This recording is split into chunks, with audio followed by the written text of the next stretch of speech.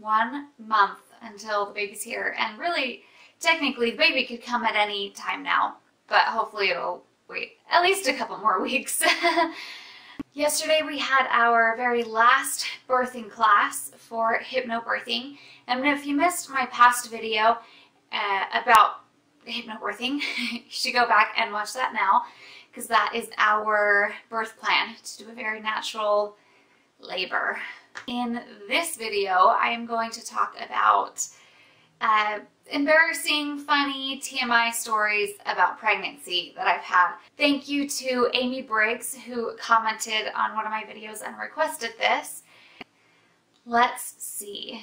There are a lot of weird things with pregnancy. I would say for me, my weirdest pregnancy symptom is really just peeing whenever I sneeze. You know how you can tell you're gonna sneeze? You know, you, you feel it coming. I know that I'm gonna pee. Like at least one little drop. and so if I'm in public, like you'll always see me like covering my legs and trying to sit down and trying to make it as least obvious as possible while making it the most obvious thing in the world. But something else that some people talk about but not really um, is the gassiness that you get when you're pregnant. Now this is to be gross. It's not that I fart all the time, but I fart a lot more than I used to. and that transfers into bowel movements as well. It's rare for me to just pee. I poop so often. I just poop all the time. And it's so weird. Oh, when was it? A couple weeks ago, Nate and I were at his parents' house, and you know, so there was a bunch of family there. I think we were watching the Jazz game. I was sitting on the couch, perfectly normal, watching the game, and all of a sudden, I felt it coming. I had to poop, and it was coming out whether I was going to be on the toilet or not.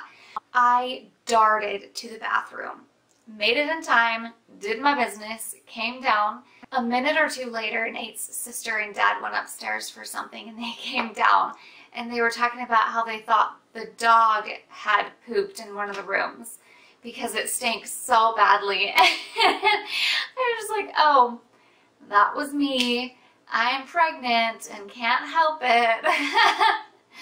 There's definitely been moments like that. the last weird symptom that I wanted to talk about was how much I can eat.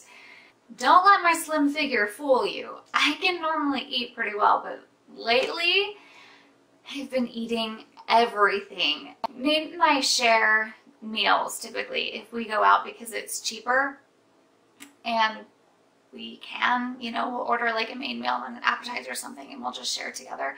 But we, we ate so much. Place we went to was Granny Annie's. And if any of you guys are in Utah, stop by Granny Annie's in Kaysville and get their scones because they are delicious. Nate had been there before and he wanted to take me because of how big their cinnamon rolls were. We order one tuna melt sandwich, a scone, which is about this big, and then a cinnamon roll, which, not joking at all, it was this big.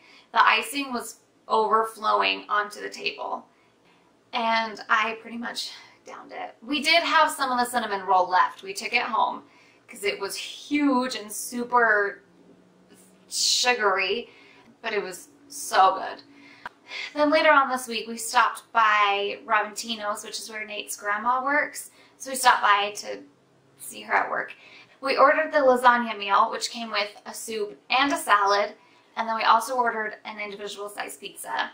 Nate helps eat too, you know, we are splitting it, but it was pretty much all me. His grandma even stopped by several times to see if we were done or not, and I was still chowing down. What that tells me is that this baby is going to be strong and healthy. oh, one more thing that I really wanted to tell you guys. Something really cool that Nate and I were freaking out over last night. I was in bed and I had a bowl of applesauce straight from the refrigerator. So the bowl itself was pretty cold. Um, and, you know, it has pressure to it because it's in a bowl and it's filled with applesauce. I wasn't fully sitting up, but I wasn't fully laying down either. It was kind of leaning against my leg and the bottom of my stomach. As I was sitting there, the baby started to kick the bowl. Ugh, I wish I took a video of it for you guys. It for real started moving the bowl up and down and Nate and I were completely freaking out. Like, this is crazy. Our child is so strong. so I had to tell you guys that story before I forgot. Please let me know in the comments anything else that you guys want to hear me talk about or anything that you want to know about this pregnancy. And please check me out on social media as well so we can all stay connected.